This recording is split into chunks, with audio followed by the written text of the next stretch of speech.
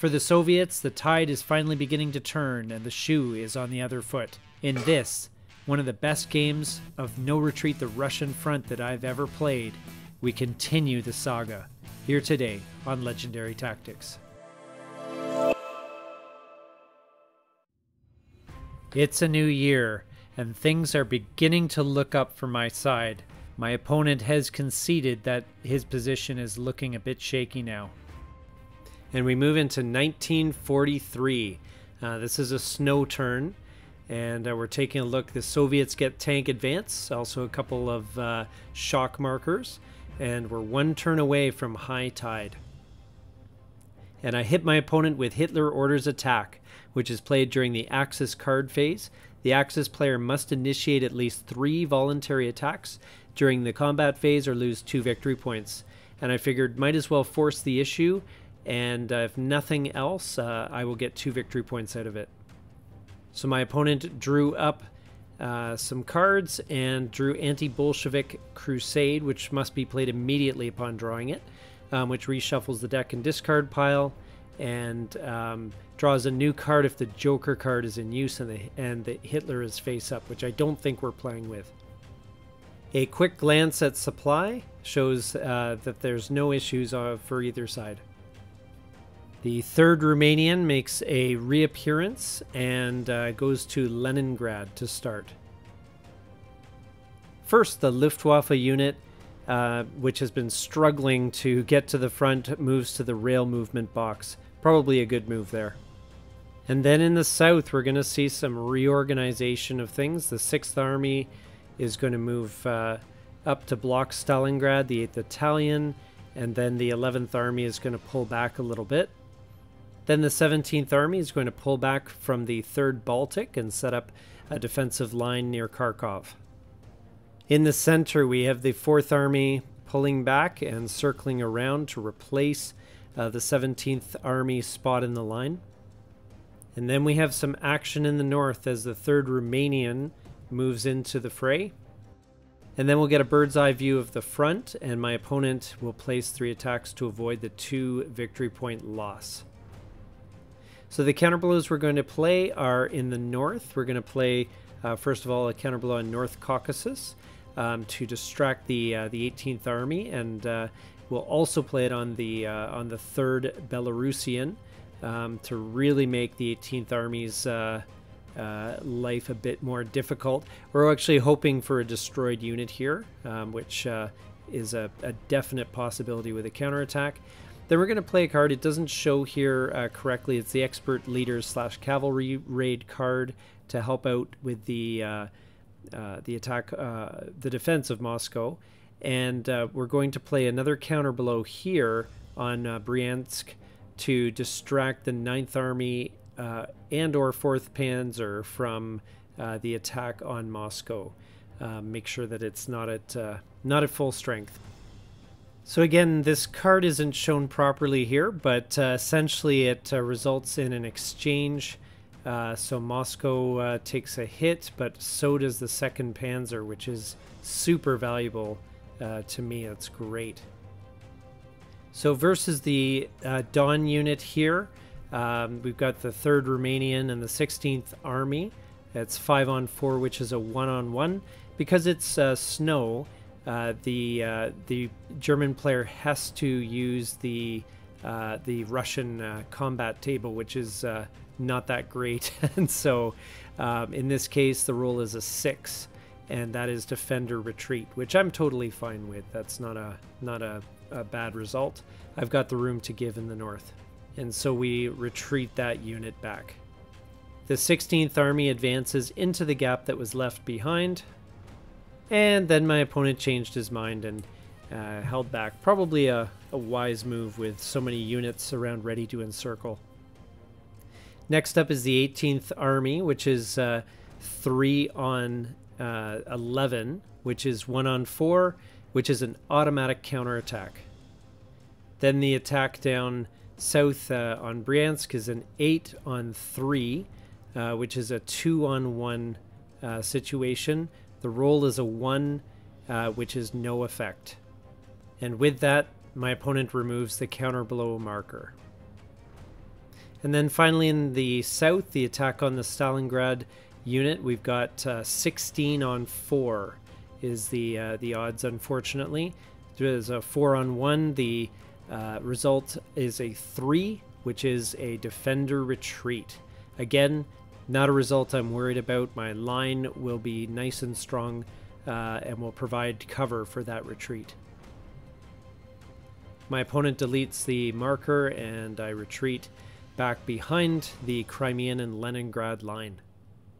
My opponent then decides to advance the 6th Army into the gap left by the Stalingrad unit.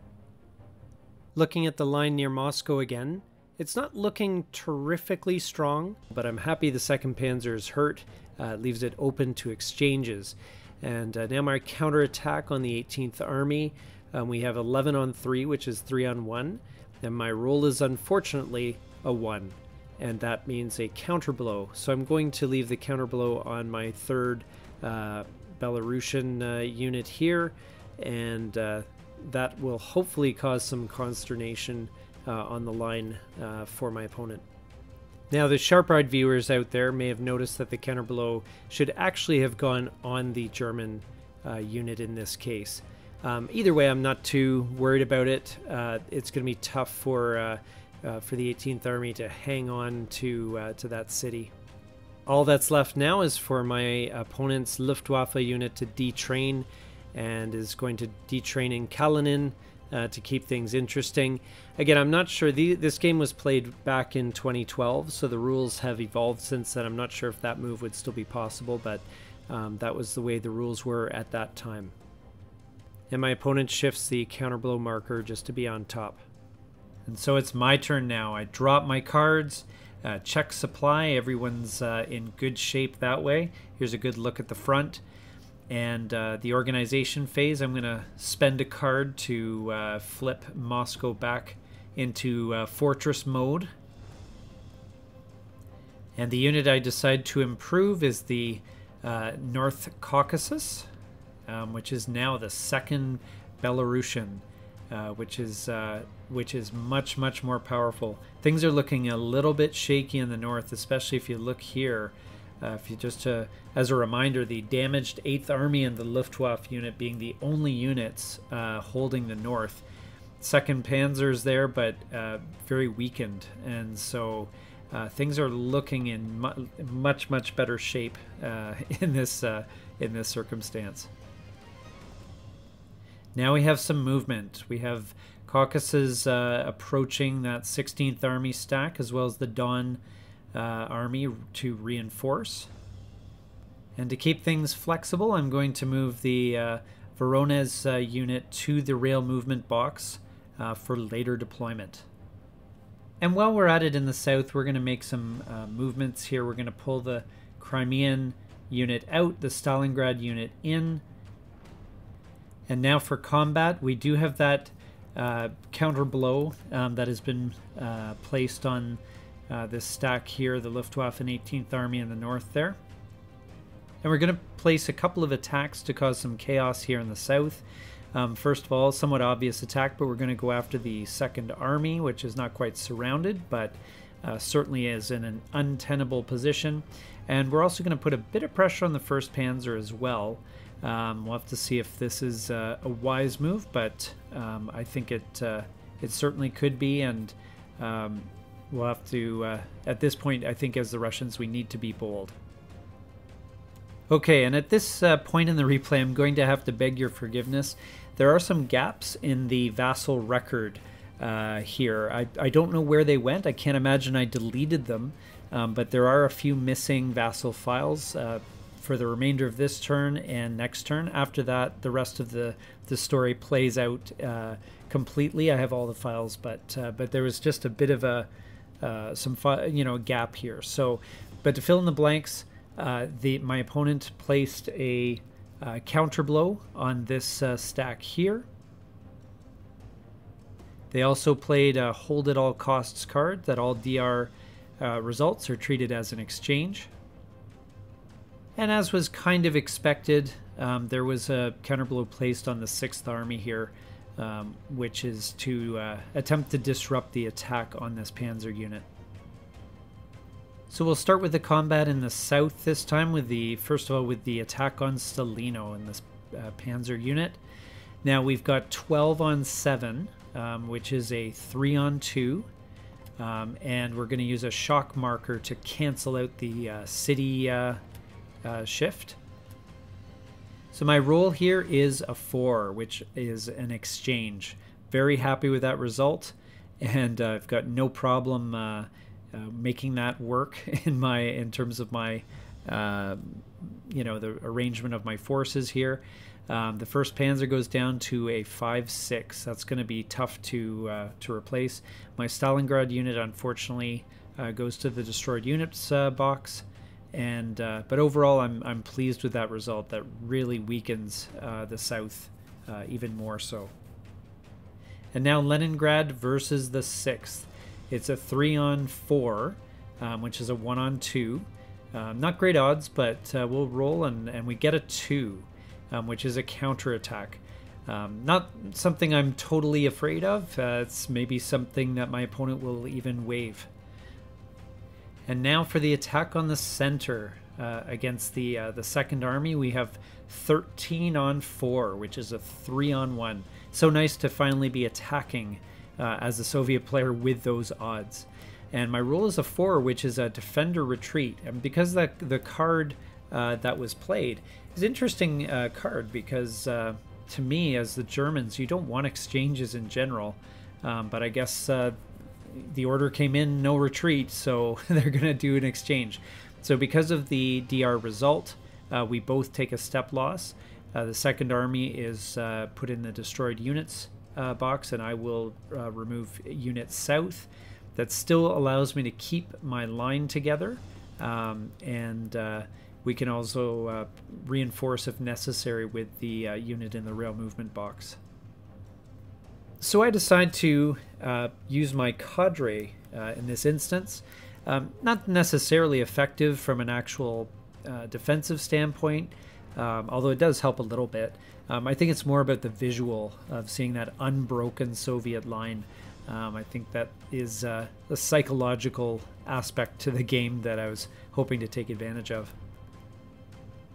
And now in the north, we have the attack on uh, these units here on, on Kalinin.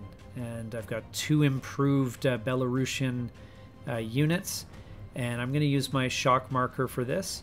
So uh, we actually have, uh, including Don, we actually have uh, 18 on 5. I realize now that we may have made a mistake in my favor as Kalinin does not provide any defensive shifts, so the odds should have been 4 on 1, however I rolled 3 on 1. Now my roll is 5, which is a defender retreat, and so that turns it into an exchange, which uh, could be a fairly expensive uh, thing for me here. I'm going to have to lose my uh, my Don unit because the Belarusians are just too uh, too precious. We'll delete the uh, the shock unit here, and then um, I will remove my Don unit to the destroyed box. And uh, I, likely my opponent is just going to absorb this uh, hit with the Luftwaffe unit. And now it's time for the Caucasus uh, counterblow there. It's a 3 on 5, uh, which is a bit better odds than I expected actually. Um, but uh, my so the odds are going to be one on two. I roll and I get a one, and that means it's going to be a counterattack. Now I'll bet my opponent is going to waive that counterattack this time, uh, given the odds uh, in play. Now, one aspect of that hold at all costs card that was of benefit is uh, there's no retreats from a city like Kalinin, which obviously uh, saves a victory point. And considering we're moving towards high tide, uh, might actually uh, uh, have been a good move, even if it's a somewhat expensive one. Now, again, there were some gaps in the narrative here. Um, the attack up north, um, uh, the the counterattack uh, was taken, but um, resulted in a counterattack uh, result. but I declined to take it, obviously. And it seems that in the south, the result also was a, a counterattack uh, which I'm declining with my Leningrad unit. Now, please note the use of the uh, the cadre as well um, in that uh, spot where I'd eliminated uh, that unit. So as the last part of my move, I decide to detrain Voronezh uh, in uh, in that spot just across the Donets uh, uh River, and that's going to shore up the line there. Now I don't have defense in depth so much now. Um, however, it is going to be really tough for the German to break through anywhere. There's lots of opportunity for uh, encirclement and all sorts of nasty stuff um, that I uh, now finally have the opportunity to do. Here's an overhead view of where everything ended up at the end of turn 11. Okay, and try not to laugh too hard as I um, try to figure out uh, the high tide uh, rules here. Um, this was something that I wasn't exactly sure how to do. Um, so um, I was sort of moving the counters around, trying to make it uh, make it work. And uh, so, anyway, I think that's where things ended up. The German high tide at 24 victory points. And we advance the turn to uh, turn 12. And I juggle some of the, the markers around here in my attempt to uh, get everything organized. But the important part is this is high tide, and the initiative has finally changed. And my gosh, how things change from one log file to the next. So again, this was the the one turn of the game where I only had a handful of log files, so I kind of have to reconstruct what uh, what's happened here, which I'll attempt to do now. Luckily, the movement uh, markers are still there. So in the north, we have a bit of a full-scale retreat here away from uh, Kalinin um, the 18th Army has pulled back to this uh, this hill here. Um, the idea being that now that high tide has been reached, it's time to shift to the defensive for the the uh, German forces, and so they uh, strand the third Romanian there uh, to uh, basically act as a rear guard, and uh, they the 16th and 18th armies retreat back to better terrain. In the center, we have a little bit of a similar story. Uh, we have some units kind of shifting around and uh, retreating, looking like they're setting up a defense in depth. The cadre retreats uh, as well, as you notice. And then finally in the south, the 6th Army uh, actually advances to reinforce the 1st Panzer. Uh, but uh, in general, it's just kind of giving a bit of room for me um, and I may actually get a good chance to advance, which is pretty awesome. There is one attack on uh, the city of Rostov, though, so we do need to uh, see what happens there. Now, after the the German players completed their moves and attacks, I do uh, decide to place one counter blow um, to see if I can get the third Romanian out of there uh, on the German turn, which would be nice. Now again, missing log files, uh, but I think we can see what happened here. The attack on uh, Rostov was successful. Uh, my 5th Guards head to retreat, and the 6th Army advanced into Rostov uh, to uh, take, take control, at least for the victory point. And now the Kalinin counterblow by the 3rd Romanian. Now it seems that uh, my opponent's roll resulted in a counterattack, so of course I'm going to take that. It's the three to one uh, odds, and I roll a three, which interestingly is an exchange. So the Romanian unit uh, leaves to uh, uh to be uh, returned to the game in four turns. My third Belarusian goes to the destroyed units box.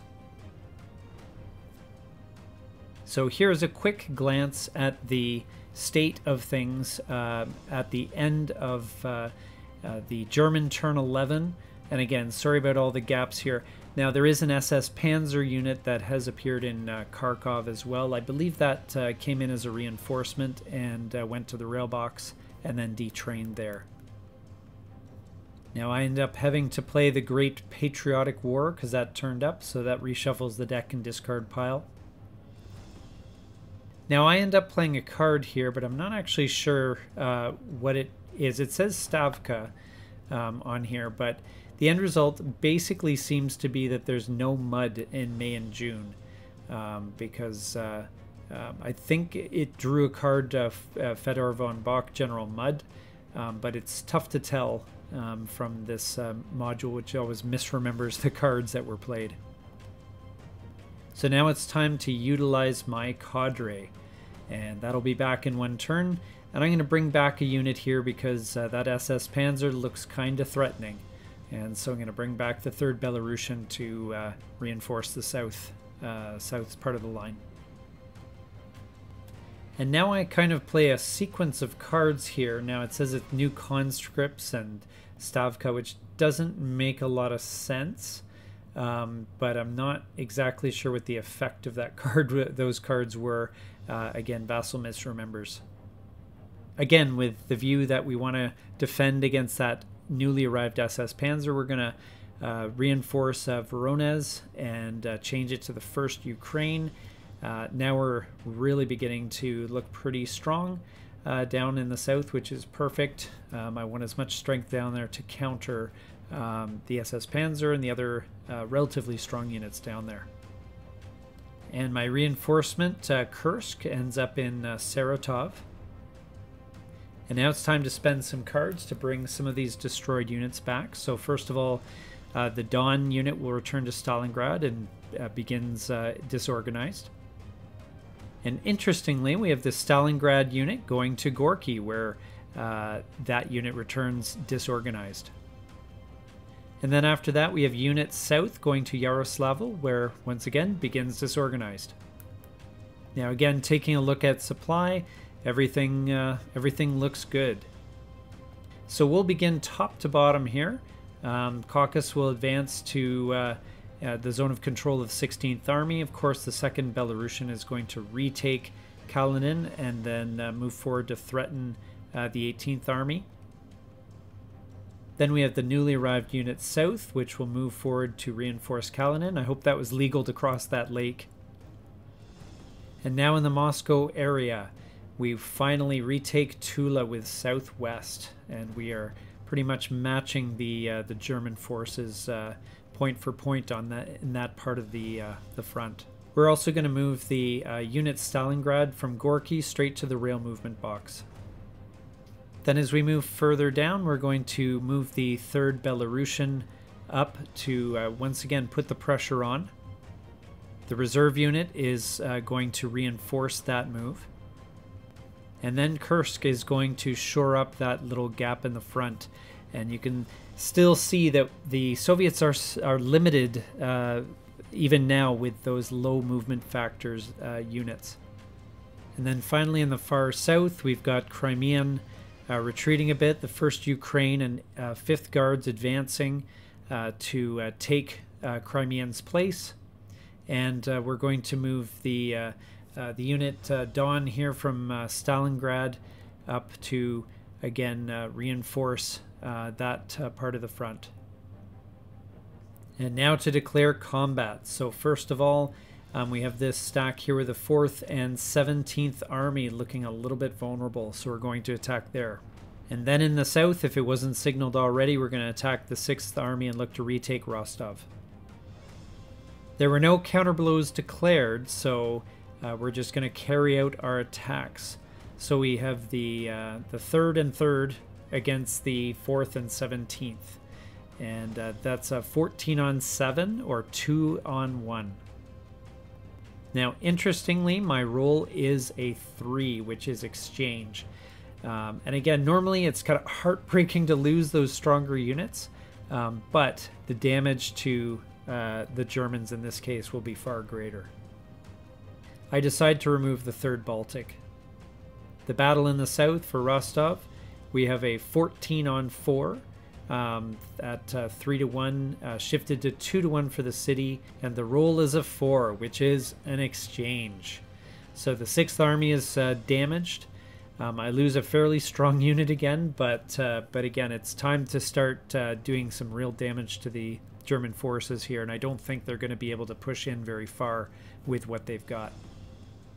And now I just need to do the removal of the disorganized markers and uh, I left the target on the center uh, stack here to remind uh, my opponent to take their their step.